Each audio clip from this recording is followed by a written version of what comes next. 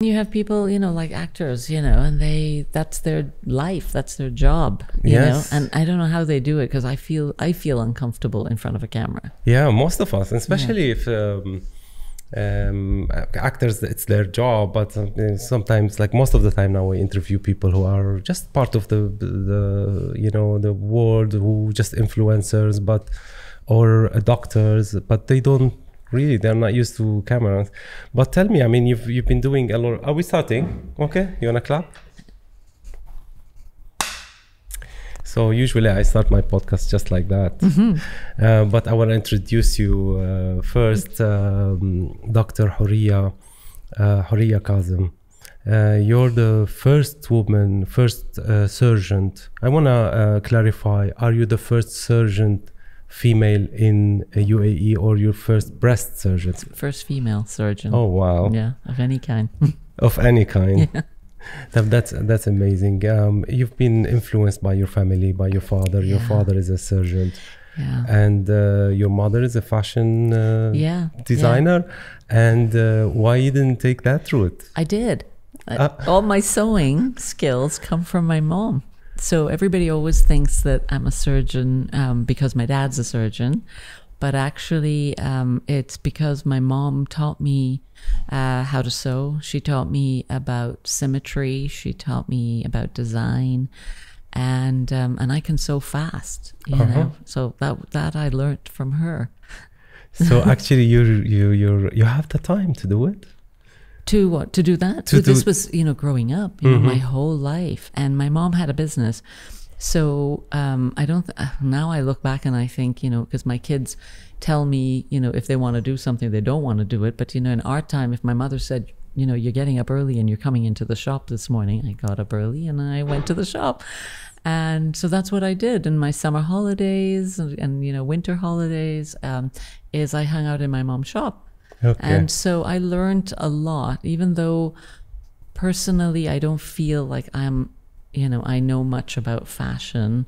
Um, or I'm not, you know, my mom's an artist as well as a, a, a fashion designer, but I don't consider myself an artist. But that eye that she's given me for, you know, how I view things, it's a very interesting perspective, except I'm looking at the human body. that's nice you studied in in different countries you've Mm-hmm. you've, uh, you've uh, been raised in in the you're born in UAE and raised in the Caribbean Yeah.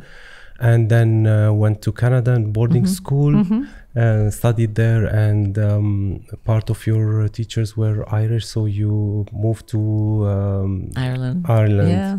and yeah. studied there the Yeah. medicine. So it happened like that because my um, my father, um, when he went, first of all, there were no um, high schools and colleges, and um, so the UAE was not the UAE. Dubai was part of um, the Trucial States, which was a British protectorate, and India those days was British, part of the British Empire, and so a lot of people um, went to um, to school there. Um, my grandfather had a dhow; he was a trader, and he just put his kids on the dhow, and they went to Bombay.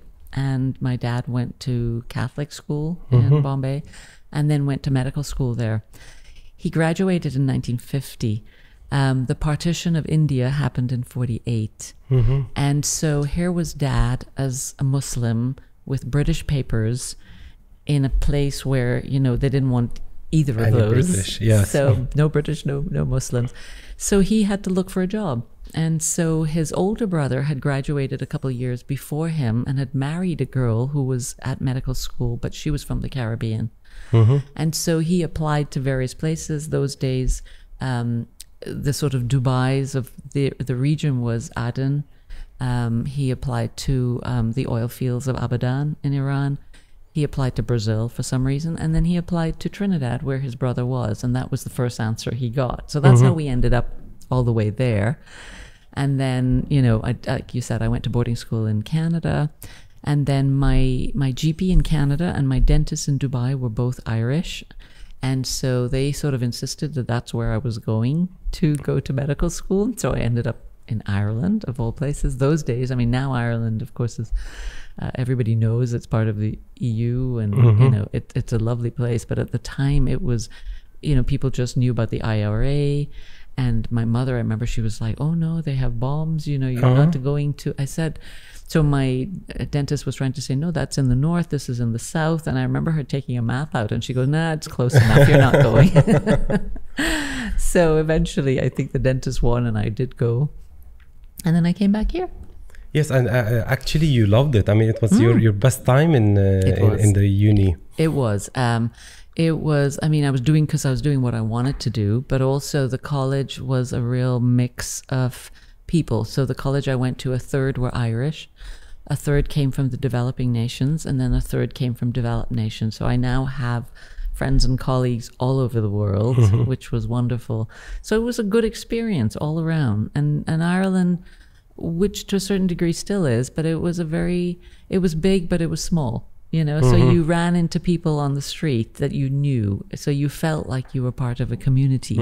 You know, so yeah, it was good times. After that, you went to uh, UK to uh, like an intern to apply. Um, No, I came back to Dubai first um, to do my internship here, Mm, and mm-hmm. then I went back uh, to do my surgical training. So that's where I was in the UK and and, then the you US. chose the breast. Uh, uh, Yeah, uh, yeah. Cancer uh, surgery. Yeah, but which didn't really exist. Mm-hmm. Um, everybody was a surgeon, as most things were in the past. Everything, the surgeon did everything, even brain surgery, but even my dad. So, my dad's day, he could open a chest, he could do bones, he could take an appendix out, he could do everything. And slowly, these things started sort of breaking away from what we now call general surgery. And because we know that if you do um, the same or similar things over and over again, you get really good at doing it. So if you are a bone surgeon, you just want to be doing bones every day, and then you become a really good bone surgeon. There was no specific training. You just decided what you wanted to do, and you just did it. So, the, it, the, so when I graduated, there was no such thing as a breast surgeon. Even when I did my internship, though most general surgery clinics, half of them would be breast patients. So it seemed likely that that was going to be the next thing to break off, and it did. So for me, choosing um, to be to do breast surgery was actually twofold. One part of it was me seeing patients in Dubai when I was an intern that were very advanced um, breast cancer cases that were, I mean, you didn't see in textbooks. And that sort of gave me an idea, and that plus the idea that, you know, they let it, they let their disease go to such an advanced state because they didn't want to go to a male surgeon. So those two things made me think, you know what, I want to do surgery. And breast was kind of there, but like I said, there wasn't such a thing as a breast surgeon. And um, when I was then I went back to the UK to get my uh, fellowship in surgery, just general surgery.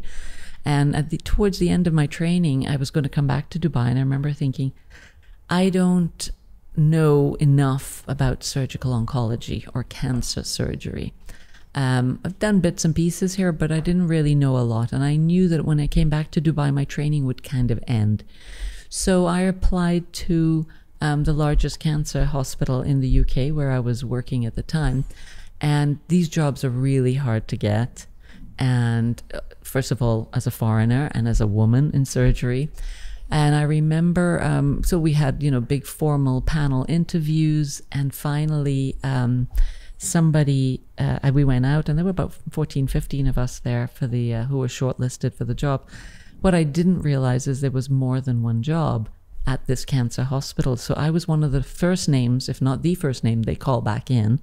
And I thought they were going to say, it's fine. Um, you know, thanks for coming Thanks for the for interview. And that's gonna- it. yeah. And what they did is they took an A4 sheet of paper that actually had the units that they were looking to hire for, and it was in alphabetical order.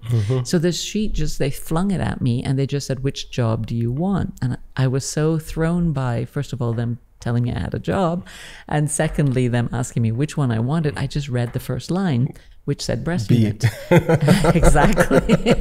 and I remember I cried all the way home on the train because I remember thinking, oh my God, what did I just do to myself? Um, and I thought, oh, working with women for six months, it's going to be awful. And first day on the job, I had one of those moments that I don't think happen very often where you just stand there and you know you are where you're supposed to be. Mm-hmm. And it was a, a really enlightening moment. And I was like, this is what I want to do. Because you wanted first to do uh, um, um, disease uh, research and uh, and to- infectious to, to diseases infect- is what I initially went to medical school wanting to do. And the reason for that is I liked the concept of public health, of taking care of communities as opposed to sitting in a clinic and seeing individual patients. And so my idea, you know, having grown up in the tropics of public health was kind of going off to a third world country and looking after groups of people. And so I went to medical school wanting to do infectious diseases. I thought that would be the most useful in a setting of public health in a developing country. And halfway through medical school, you know, somebody put a scalpel in my hand. Mm-hmm. And I remember thinking, wow, I like this. Mm-hmm. and that's how the surgery came about. But it's interesting because there were no female surgeons in Ireland when this happened. I didn't, I had not seen anybody who looked like me who was also a surgeon. So it was, you have to remember, so even me kind of going, I like this, there was nothing there that sort of showed me that I could do it. That, you know, in spite of being a woman, in spite of being a foreigner, I could be a surgeon. Um, so, in a very, very roundabout way, even though I did actually leave d- infectious diseases behind and do, um, uh, I did general surgery and then breast surgery. But as part of being a breast surgeon, when I came back to Dubai, I do a lot of public health. So a lot of what I had to do was sort of, you know, get the national consciousness um, of breast cancer into the brains of women that they need to be thinking about this, they need to be doing something, they need to be screening, not waiting to find a lump. So, in a very, as I said, roundabout way, I spend a lot of my day doing public health.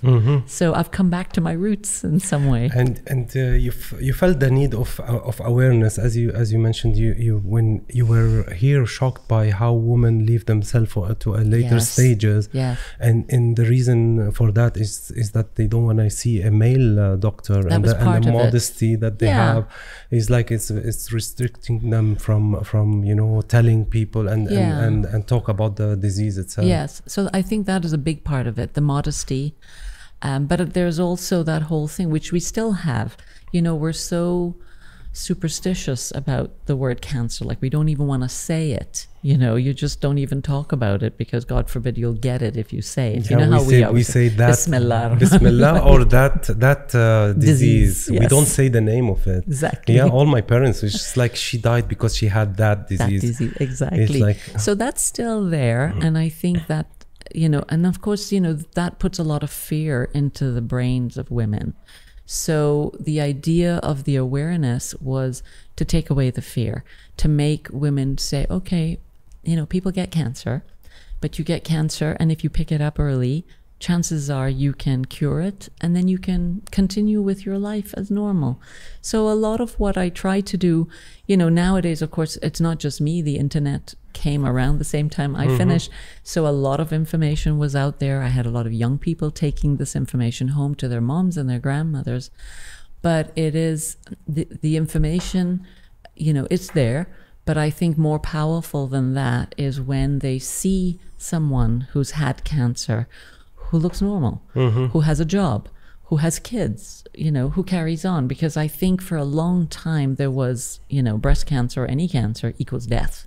Yes. And actually, breast cancer is one of the better cancers out there. I mean, mm-hmm. even when I, I tell patients, you know, the, the WHO figures for cancer right now is one in three women will get some kind of cancer, and one in two men will get some kind of cancer.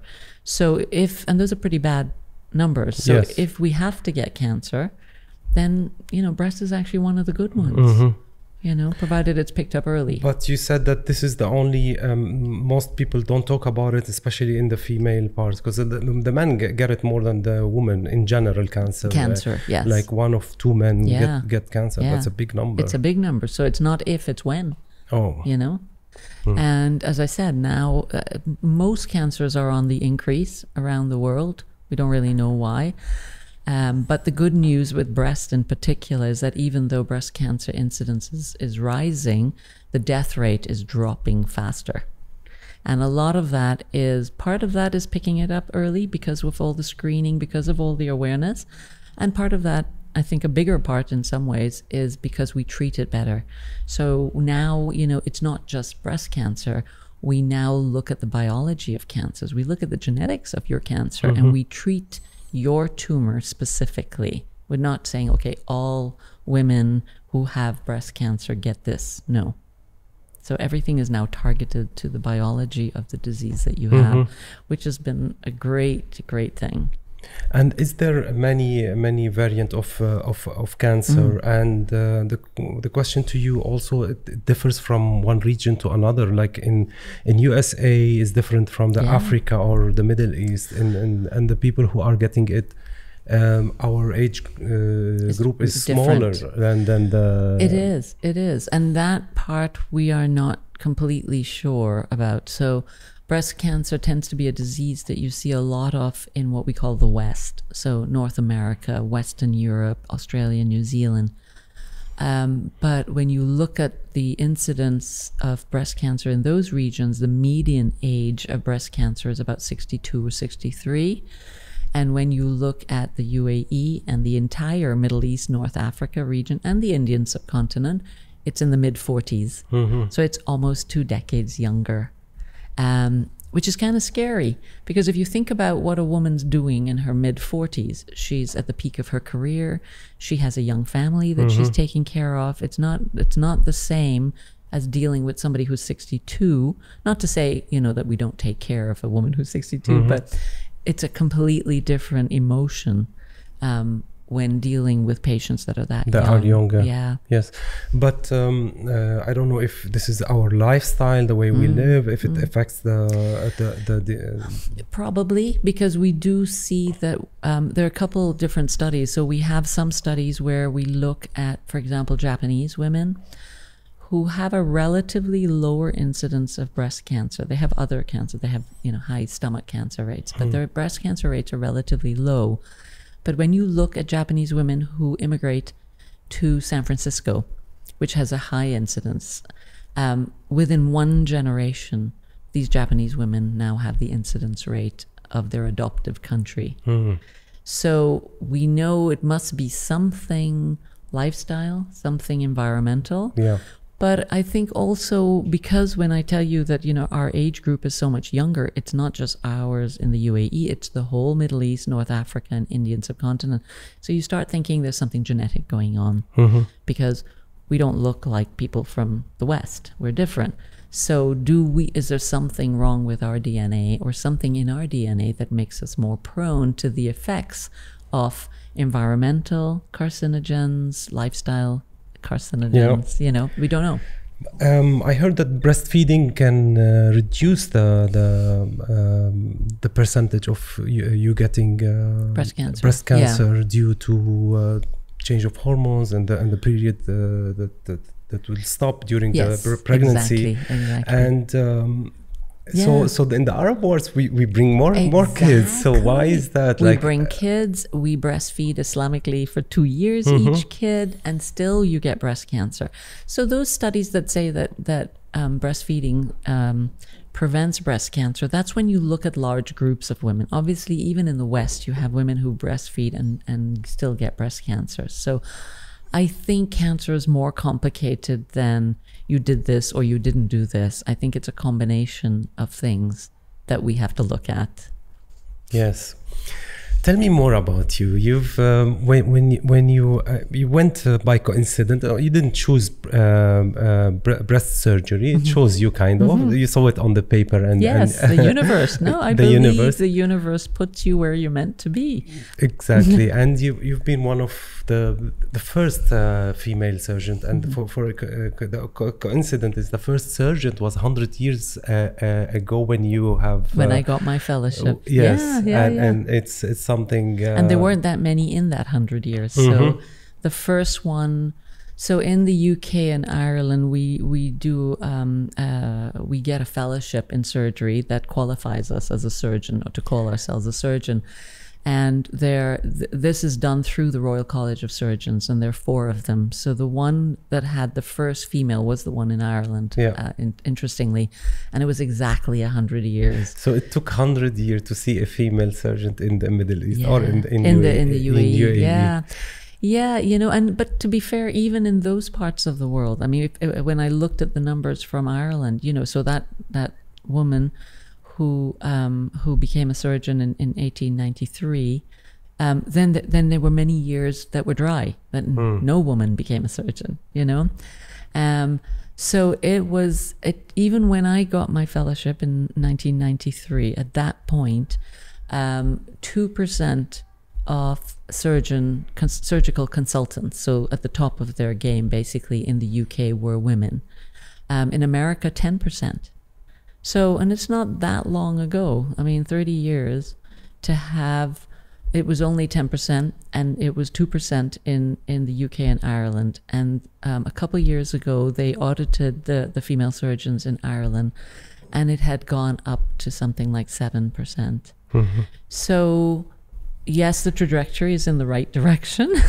there is a lot of sacrifice to be a, It is. a, a surgeon. You you have uh, waited nine years to get married. I mean, you were engaged for nine years. yes. And yes. uh, you, It is. It is. It, it is. And and then I tell people. So a lot of what I do right now, apart from, you know, the hat that I wear as a as a as a breast surgeon, is I actually do a lot of mentoring to kids in medical school and even in high schools, trying to let them see what I didn't see. That I can be, and you know, I'm I'm just an ordinary woman. I'm not, you know, I'm I'm, I'm not like some you know smart person the smartest person in the world but the fact that i can see something that i like and go after it and not have my gender or my nationality prevent that from happening so i do a lot of trying to talk to um, uh, female medical students but you know i'm honest with them. It's not an easy road. There is a reason why there aren't so many female surgeons even today. You know if it's only gone from 2% to 7% i mean that's not a lot. And we they we looked at in those numbers we looked to see where were the drops happening because in medical school half the medical school are women by the time you get to surgical training it was down to 34% so there was already a drop, A drop, yeah. of, of women on female what, medical On what students age uh, approximately? So this would have been they would have been now in their early 20s Mm-hmm. um, thinking that for some reason feeling that this was not a viable option for them and then there was a huge drop from training which is really quite scary because you've put in all that time you've put in all that effort and then not make it to consultant level Mm. and that's the age where you want to start having a family family exactly? and it should not be that these two things are mutually exclusive. Yes, you do have to carry the children, um, you know, biologically. That's how we're made. But it should be that you that there are some things that are helpful for you to be able to carry out both duties. When I first came back to Dubai, I tried to find a part-time jobs. I tried to find uh, flexible working hours. Everybody looked at me like I'd fallen off some alien planet. Like, what? you're either working or you're not. yeah, so it, yeah, so those kind of things are important, you know. And I know people say, why should we make you know exceptions? And I'm sorry, you know, you just do. You you do. And if somebody is is uh, is is uh, a paraplegic, you build a ramp so that you know. Is everybody a paraplegic? No, but you want to make sure that everybody has a way around in this world. And so, if we did things like in America, for example, the big hospitals have a nursery so you could actually keep your baby there. And in your lunch break you can go and breastfeed. So you don't feel like you know i'm, I'm either a mother or i'm a surgeon. No i can do both But it's also for a Middle Middle Eastern uh, woman is slightly difficult because the demands from the man is is higher. It is. And then uh, I want I want to have more children. I want I want you to stay at home and and uh, Yeah. raise them. and you're right because I, I you know my i was not okay so i am the first female surgeon but i was not the first to try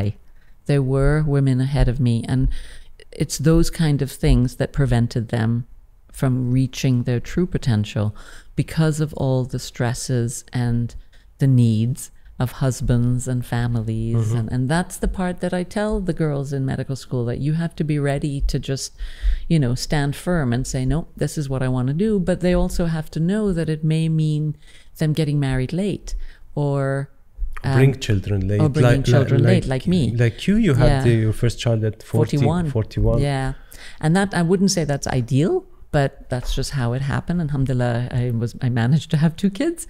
But yeah, that's not it doesn't go with our society and the whole thing of like and even getting married late, you know, here you know how it is. Here Hmm. you reach 25 you're like geriatric. Nobody wants to marry Yeah. after 25. Yes.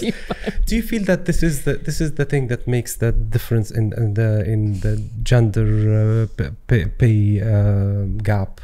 Um, do you, do you feel that that's the reason the family the kids the the reason why woman is is fighting and then not getting enough uh, uh, in the pay in, in the pay payback? I can't, you know, I work for myself right now, so I can't comment on that. I remember when I did work uh, for the government, there was a difference um, for some women who were married.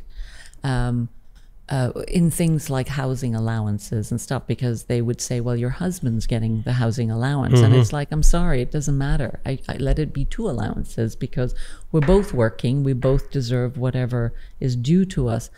But for me, you know, I, I came back, and because I couldn't find a, a, a job, um, people didn't know what I did because, as I said, breast surgery was was such a new thing. They said, "Are you a breast surgeon? Are you a plastic surgeon?" Or- And um, and so I ended up working for myself, um, which is fine. And I so I don't notice the the the, the gap, but there are other things. I think you know, the getting married and those issues, I don't think for most um, professions that's an issue. Um, I think we've come a long way here in terms of, and to be honest, I never had anybody telling me here that you're a woman, you can't be a surgeon. On the contrary, here I actually had people telling me we need a female surgeon. And so I didn't have, I had it more when I was in the West actually Yeah. of people making me reminding me of my gender or reminding me uh, that you know I'm not from there but here I didn't and I feel like in, in in most jobs I think things have improved I think there's still other issues that that we have that are related to the gender gap index that, that we have here and a lot of that I know they're trying to address things like for example that I have myself is you know being able to give nationality to my children um, as I've married a non UAE citizen. That's a big deal. And it's a big deal for my kids because they're born and brought up here. So, to all intents and purposes, in their mind, they're Emirati. But in real life, it's not so.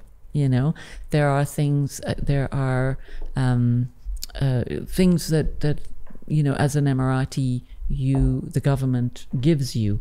Um, I was on an educational scholarship for all of my uh, uh, training abroad.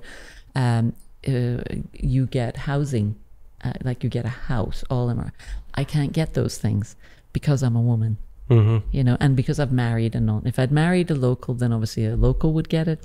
And uh, marrying a non-local, I don't get housing. I don't get uh, my kids don't get education. So I think those are the important things, and I think the passport issue is a big issue in the gender gap, and that's for the whole Middle East. I think there's only two or three countries of the 22 that allow women to pass their nationality to their children. Lebanon may be one of them. Uh, I, I I doubt, and I mean Lebanon, we have the same problems. Uh, women cannot cannot give. oh, uh, really? I- it can for some countries, unfortunately, but there are some countries where they they they think it's um it's kind of like we have more immigrants coming from the neighbors, so Hmm. we don't want to give the nationality of that neighbor. But if you're uh, American, then you're welcome. but if you're a, a neighbor, No, you're uh, not, yeah, really. yeah, it's kind of like um, because in Lebanon, you know, there is a lot of uh, there is different in in religion and this, and they don't want they don't want to mix. Uh, Yeah, and I understand that. And Yeah. because here, you know, basically things like inheritance is is on the father's side of the family, so it would mean um, my children have my father's have their father's nationality. So it means if I have a house and and I die, then my house now goes to another national. Even though it's my children, but technically to another national. So I think that's, I think, you know, first of all, the UAE is such a new country. I think they're figuring out as they go. And I think we've done really well in 50 years. Um, but I think those are the things, and I can see that they are. Um, addressing the things that are causing us to be at the bottom of this gender gap. index. I'm sure it, it will be addressed and it, it Yeah. will be something. It's uh, everything is uh, that has a start, and UAE started the the whole uh, country, the whole uh, education system, the whole streets, everything from from scratch, and uh, Yeah. and, the, and the development that has been here is is major and it's great. I'm sure it will reach to uh, the point so. where it's uh, where, Yeah. where it satisfies most people. Uh, talking of the family, you Mm-hmm. treat a lot of uh, pa- part of your family and and um, your big family as well. And you had an incident where you just sometimes don't charge them, and then they pay you by by sending some gifts. Tell me I more know. about that. Oh, I love that. Well, when we were in the Caribbean, I remember my dad used to get paid in, in sacks of uh, grapefruits and pumpkins and, you know, whatever people could pay. And I think, and that of course goes back to, you know, probably the ancient Greeks where you, you traded, you bartered, you know. But you will- had some expensive purse. I did. but it was expensive surgery that I did. So it's okay. Yeah. So now I get paid in, in Chanel handbags sometimes, or Louis Vuitton, um, and and which is lovely. I mean, you know, it's it's uh, it, it's a perk of the job, I guess. Yes. You know, but but um, talking to the emotional side of, of treating a family there is there is a lot of pressure on you as like you want to treat somebody that you know and um, i don't know if you always say yes or no for somebody who who might uh, put a lot of um, you know uh, stress or or or feeling like uh, um, um, is it gonna succeed or or is is there any any um, you know uh, worry when you when you treat somebody from your family I think there is initially, but you know, when you're in an operating room, and I don't know if we do this on purpose, you know, the patient is completely covered. We don't see the gender, we don't see, you know, who this patient is. And when you go in there as a surgeon, you know, you go in there with the mindset that I am the best person to do this job for this person, regardless of who the person is. So when I see them in the clinic, of course, the, the emotional side is there because you're speaking to someone that you're related to. But when you're actually in the operating room, you know, we treat everybody the same. There's no difference. Um, and I don't be, I'm not thinking it's my family, you know. Having said that, you know, and of course, you know, Dubai, everybody's related to everybody, so everybody is a family. But would I want to operate on my own daughter? Probably not. You know, I think that's probably where I would I would draw the line. Yes, of course. There is a lot of uh, emotional pressure. And tell me, what's the hardest part of your uh, job? And I'm I'm sure it's it, it shouldn't be inside the the the surgery room. It's No. it's it's outside that. I It is. It is. So and and you know it's it's a two edged sword because somebody asked me recently, you know, do you miss operating when you go on holiday?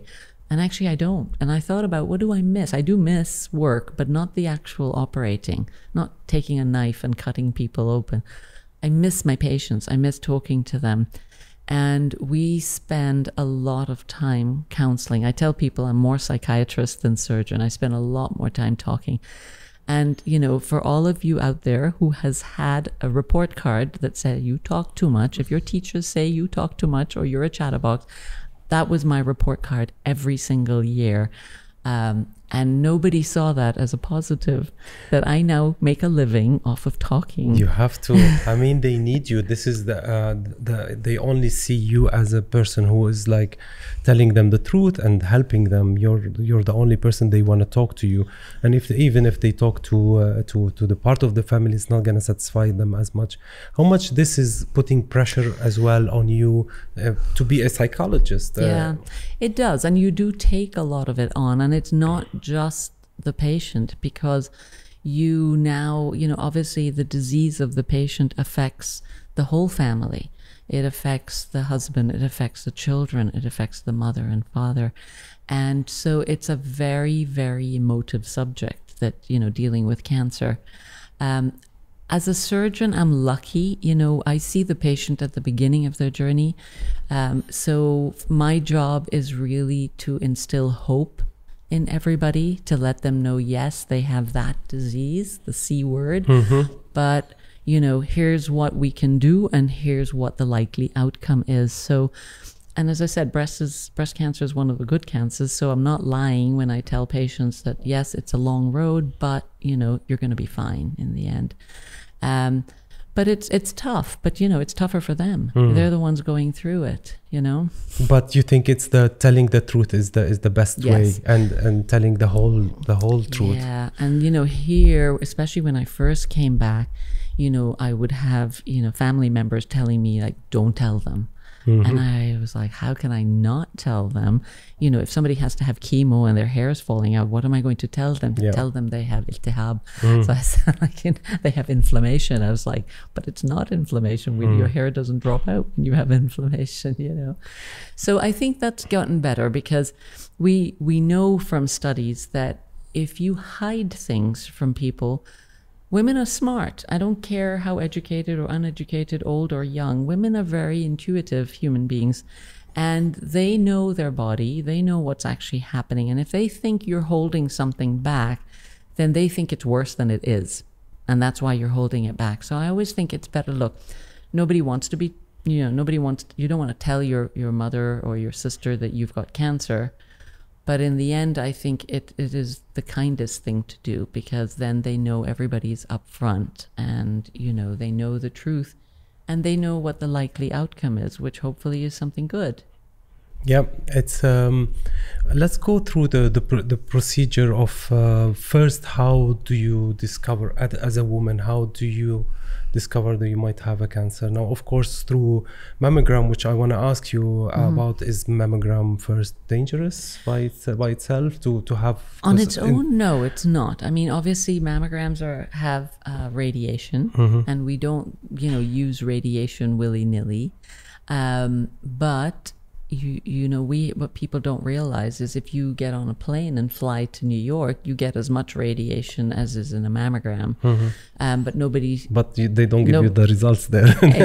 Well, this is it. So I tell people, well, if you're so worried about radiation, then don't fly. Stay home. Never go on holiday again. And they go, what? And I'm going, yeah. So which is more important? Um, so no, on its own, you know, the, the dosing that we give, the way that we can now um, focus the radiation where we want it to go, it is probably the best way of picking up a cancer. So obviously, what we're doing is trying to pick up a cancer by imaging before you can feel anything there. Um, if that's not the case, then the, the commonest thing that I get if a woman is picking it up herself is a lump in the breast. It's usually a painless lump in the breast. Some women will see um, a nipple discharge that's blood.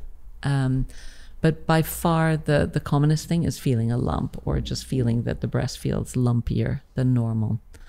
Um, and then what we do is uh, we do something called a triple assessment. We examine you, we feel it because um, some some the majority of lumps are actually not cancer. So you get an idea by examining. Then we take pictures. Then we'll do the mammograms. Uh, sometimes we do ultrasounds, MRIs, and then we'll we will do a biopsy to confirm. And this is a needle that takes a sample that tells us what it is. So that's our triple assessment in medicine, you'll find that if you have to do that many things to diagnose one problem, it means none of them are perfect, right? Because if my hand, Yeah. wa- if my hands were perfect, I wouldn't have to do a scan or I wouldn't yeah. have to do a so you have to do the three three. So you have to do all 3 mm-hmm. None of them are perfect, but hopefully the resulting picture of the mm-hmm. three together gives you something close to 100% that you know. It's never quite 100, but close to 100% that you know what kind of lump this is. Yeah, is the needle da- dangerous as well? Like, cause it's might like it's like uh, you know the bees when you when you touch them they will fly, and and does Don't cancer like that picture. does cancer get let's say irritated or as far or- as or we know not. I mean i think cancers are a bit smarter than that. If cancers want to spread and again this goes back to the biology of the tumor. Some some tumors are aggressive by their nature. They're born aggressive they're not waiting for you to put a needle in Hmm. to spread if it wants to spread it's going to spread Um, so no, but I do hear people saying that, and I can see, I, I can have that visual like you just did, which I never quite heard about the bees, but I know what you mean. I've, I've kind of Don't touch them. I know that you irritate it and you're going to spread it. That's what people think. But so far as we know now, it's not the case. Yes, and um, so it's the early uh, checkup is the best uh, Exactly. thing, and then uh, or either the woman can discover by by coincidence that she having a lump. Um, and what are the other stages? So there, there's always a like the surgery, and is there uh, and the, and the chemotherapy? Yeah. so we treat um, basically uh, for for breast cancer. Pretty much everybody gets surgery at some point, and I'll tell you the types of surgery in a bit. Um, some people get chemotherapy, not everybody. Some people get radiation, not everybody. And some people get hormone therapy. Those are the big things. We have other things that we use, like targeted therapy, immunotherapy, but generally in those little boxes. Surgery is um, a, a lot of people think if I have a tumor, I have to lose my breast, and that's not the case.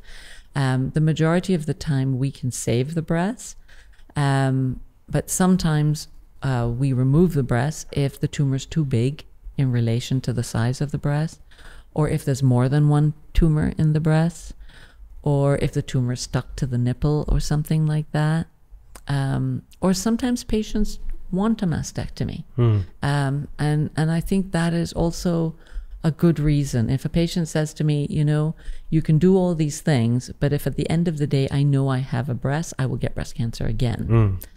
Um, even though that's not our perspective from a medical point of view. From a medical point of view, we are not worried about a lump in the breast coming back. People don't die because you have a lump in the breast. You die because the lump goes, the, the t- cells go somewhere else, right? It goes to the liver, it mm-hmm. goes to the bone. So we, that's the thing that we worry about. We don't worry about you having another cancer. And obviously, it's disappointing to us. It's disappointing to the patient if mm-hmm. you get another cancer or you get a recurrence in your breast. But from a prognosis point of view, we're not worried because we know we can sort it. It's when it spreads somewhere else, then, you know, that's what we mm-hmm. call stage four disease. That's incurable. So, So it's their decision to decide. it uh, can be their decision. So I give them the perspective, our perspective as a medical person, but I do take that on board. If a patient says to me, I have them, you know, in the beginning, every patient will say, cut both off. I don't want anything. As time goes and we explain, you know, how breast cancer actually works, um, then people may change their mind and decide, you know what, if I can have a lumpectomy, have less surgery, less complications, I'll go for that. Some people don't have a choice. So, or some people, as I said, choose to do it. Now, if we remove the breast, it used to be um, up until, say, the late 90s. Um, if we remove the breast, you would be completely flat with a big line across your chest. And you would wear um, a, a prosthesis or a false breast in your undergarments. Nowadays, when we do a mastectomy, what we try to do is little hidden incisions that you don't see. And we try to save the skin and save the nipple. And we literally go inside and scoop the breast tissue out. And then the plastic surgeon and yourself Yeah. decides what you're going to fill it with. And then when you look down at your chest, what you see is something that looks like your breast, or sometimes even better, mm-hmm. because we can nip tuck it Yeah. while we're at it. Talking of plastic surgery, does this any by any way affects the the the woman or the procedure when you or when you find a woman she's already having uh, implant Mm-hmm. plastic uh, su- surgery? Does this uh, be on the way of, of treating or affecting the? No, not really. Because usually, when you have an implant put in um, for to make your breast bigger, say you've done this cosmetic surgery before, and then you know, God forbid, later on you get a cancer. So that silicone prosthesis is put either behind the breast tissue or behind the muscle that's behind the breast tissue. So it's actually not in the way. So even for doing a lumpectomy or just removing the tumor, we can do that and leave your leave your implant where it is. Um, if we're doing a mastectomy, you already have a nice pocket there for us. So we just kind of redo it a bit, just removing the breast tissue. So actually, no, it doesn't. It doesn't bother us in any way that that uh, that that's there. Okay, um, tell me more about the survivors, uh, Mm-hmm. the, uh, the the people that you meet after they, they have uh, g- done the surgery or the, done the treatment. Tell me more how how much do they change? How they're uh, uh, what are the most uh, significant things about their personality? I think they do change. And you know, what's interesting is you would think that the ones, say, who had to remove their breast would have more psychological issues than the than the ones who just did a lumpectomy. And they actually find that that's not true. What they find the things that cause um, psychological upset in breast cancer women is the fact that they have cancer. It is the c word. It's not about chopping off their breast or not chopping off their breast saving it not saving it. It's the fact that they have had cancer and I find with my patients, there is that initial shock, of course. And then you start to try, you start on your journey, the treatment journey, which is intense and long. And so every week, sometimes every three weeks, every two weeks, you're seeing somebody in a hospital or clinic. And then finally, you get to the end and you're done. And then the doctor says, I'll see you in three months. And that's when it hits them because it's sort of like, wait, what? Three months? I thought I'm done. I know. Well, uh, also because you know, I think because they didn't, they, you just you keep going. You get you go into automatic pilot, and you just keep going for this treatment, for this treatment, and finally you get three months to think about, oh my God, what did I just go through? So. And I think that's normal. That's natural. I mean, nobody goes through it and, and comes out and goes, Yay, I had cancer. I'm so glad I had chemo. And nobody does that. So it's normal to have that. And it is a grieving process. And like grief for anything, losing a family member, or losing a job, losing a home, you have to go through all the different stages. You have to get depressed. You have to get angry. You have to, you know, question everything that you've done or eaten or smoked or drank or whatever. And then finally, you will get to that acceptance stage. Um, obviously there is depression along the way as well. That's part of the grieving process. But what we hope to do so in addition to the actual physical treatment that we give is we try to offer Mental, uh, yes treatment. a psychological And on the bright side, how do they change? In the in, on the on well the, on the bright side I, what they tell me is that they um, all the little things that they would sweat about all the little things that they would worry about don't worry them anymore and I think that's not a bad thing. It's something that we tell ourselves to do, but we don't actually do it. But they do. And they I start to enjoy life more. Enjoy life and know that, you know, okay, if the taxi is late, it's late. You know, you're not going to get angry about it or whatever. So I think, and, and what I've seen with these women um, is that is how strong they are. You know, um, sometimes I get women who come in to see me who are very traditional, who don't even talk. You know, the husband does all the talking. I mean, everything. No matter, I talk to the woman, say, okay, how old were you when you had your first child, or how you know, and the husband's doing mm-hmm. all the answering. And the problem with this treatment journey is he can't do it for her; she has to do it. And she goes through this. She goes through her chemo, her radiation, her surgery, everything. And what I see at the end is an empowered woman. You know, so she, she marches into my clinic. She talks to me. She leaves him out in the waiting Yeah, room. 'cause she's done it alone. That's her own problem. And yeah. I think she's shown herself how strong she is and is not afraid to show the world how strong she Mm-hmm. is. And, and I tell you, it takes my breath away. Sometimes I'm like, wow, look at her. You know? You've raised, uh, you've made a charity. Uh, it's it's called uh, Breast Friends. Bre- Breast Friends, Yes. and you call it Best Friends. No, it's a it's kind of a play on the, The words words breast. breast. and best. yes. So it's breast friends, and one of the ladies picked it, picked that. Um, and basically, it started as a charity and a support group. Mm-hmm. So we run a group um, of breast cancer patients. We meet. We have regular meetings.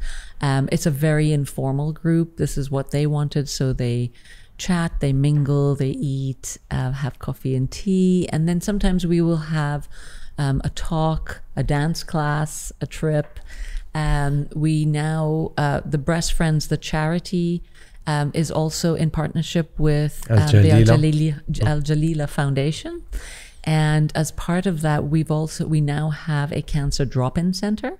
And this is for women with any cancer that they can come in to get information about their disease, to get information about um, wh- what treatments are available, what resources are out there for things like buying a wig or buying undergarments um, when you're wearing a prosthesis, or sometimes just to hang out and have coffee and, and do. I think the last I just saw an ad- advertisement for the drop in centers having a flower arranging class, and sometimes we do yoga classes. And so um, we're trying to because that is the most important i think you know you go through that part of you know the chemo and the radiation the surgery and that's over mm-hmm. but the survivorship issues are important and that goes on for life and then these women now help other women who yes. are just diagnosed and they're amazing mm-hmm.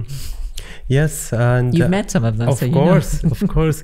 And how do you see the UAE uh, advancing in in that particular uh, uh, part in in and and UAE women? Let's uh, talk or the women in the region. The, you find that the younger women are going now uh, to check their. they are. The, and um, they are more talking about it. talking of breast friends, you, you, said that people were afraid to say the word breast as well, like they would say chest sometimes. Yes, yes. I wasn't allowed to call myself a breast surgeon yeah. um, because you couldn't say it. And now I see it every October. You'll see all you know advertisements. You'll see buses with the word breast yes. on it, which is fantastic. And I think you know, as I said before, the whole you know the internet has helped you know because the information's out there and young people are on there all mm-hmm. the time um, and then they take the information home and i think you know I think in healthcare, there is an evolutionary process. You know, I tell people all the time that, you know, my father was a surgeon, but I was taken as a child to the dentist when I had a toothache.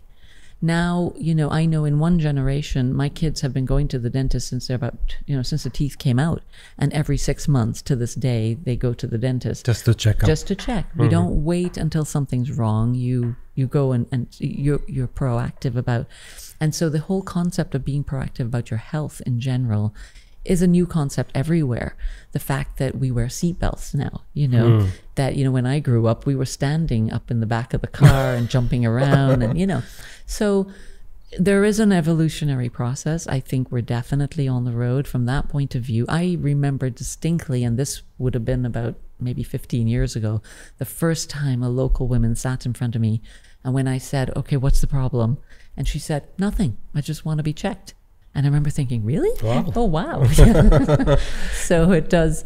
And, and to see that and to see, um, you know, where now I don't see that, those, those cases that I saw as an intern, you know, thank God, I don't see those cases anymore, um, is, is actually quite incredible that in one doctor's lifetime, I've seen such a big change mm-hmm. that it is possible. People keep saying like, you know, it, it's not possible to change. It is possible. I've seen the change myself, and I'm, it's not just me. Obviously, mm. it's as I said, the internet's there. There are lots of people doing the same things that I do, but that you can do it in such a short period of time. That I can go from those horrible cases to now having somebody say, "I just want to be checked." That's amazing. Do you it think we, we will reach one day to to have this disease as as something that we cure?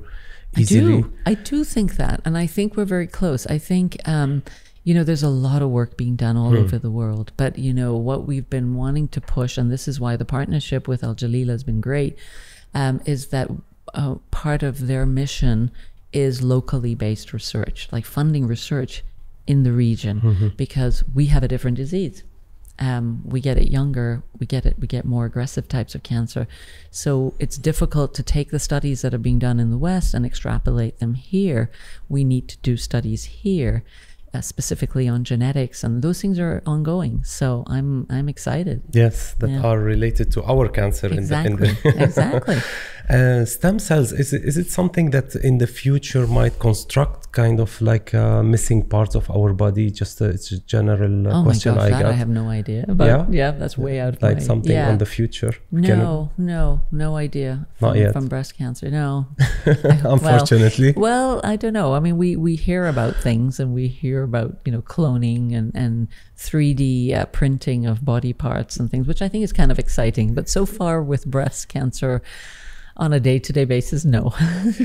Dr. Houriya, um, it's it's my pleasure. This was not my uh, area, but I wanted to highlight. You did a great job. Oh, thanks I a was impressed with your knowledge. Thanks a lot. Thanks a lot. I wanted to highlight in on October uh, month uh, this um, because I, I had the opportunity to work with some Mm-hmm. survivors and it, it's uh, really affected me emotionally.